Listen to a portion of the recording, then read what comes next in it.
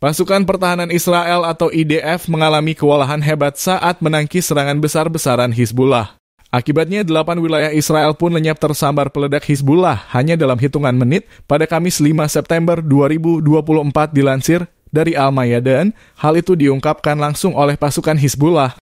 Menurut laporannya, pasukannya berhasil membakar barak Ramot Naftali, markas komando di barak Beit Hillel, serta markas baru Brigade Barat 300 di selatan barak Ya'ara.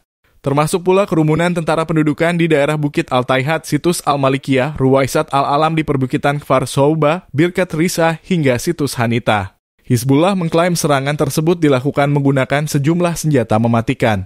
Seperti segerombolan pesawat nirawak, roket grand, peluru artileri, dan masih banyak lagi.